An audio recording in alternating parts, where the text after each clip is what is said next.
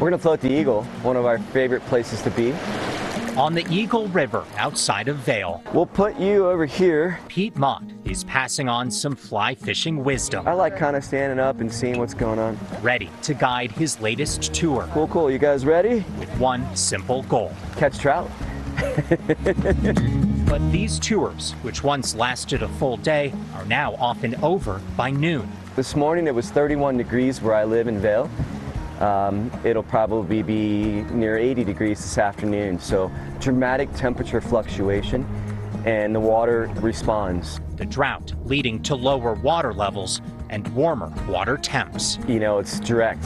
It's directly related. As the water comes down, it heats up quicker. And at some point, around 68 degrees, Mott says the fish stop biting. I actually carry a thermometer where we'll be measuring temperatures and making a decision that favors the fish um, and stopping our angling to not catch them when they're already experiencing tough conditions. Those shorter days mean fewer tours. Fishing brings over $1 billion into Colorado's economy every year, but Mott says the health of the fish is more important than his bottom line. No matter what, we're going to prioritize the fish and respect the resource.